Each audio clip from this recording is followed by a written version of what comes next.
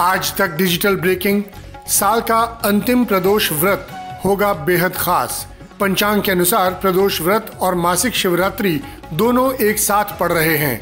ये दोनों ही दिन भगवान शिव को समर्पित हैं। इस दिन भोलेनाथ की पूजा से मनचाहे फल की प्राप्ति हो सकती है। साल 2022 का अंतिम प्रदोष व्रत 21 दिसंबर को होगा, जो बेहद खास होगा। पंचांग के अनुसार प्रदोष व्रत और मासिक शिवरात्रि दोनों एक साथ पड़ रहे हैं। इस दिन भोलेनाथ की पूजा से मनचाहे फल की प्राप्ति हो सकती है।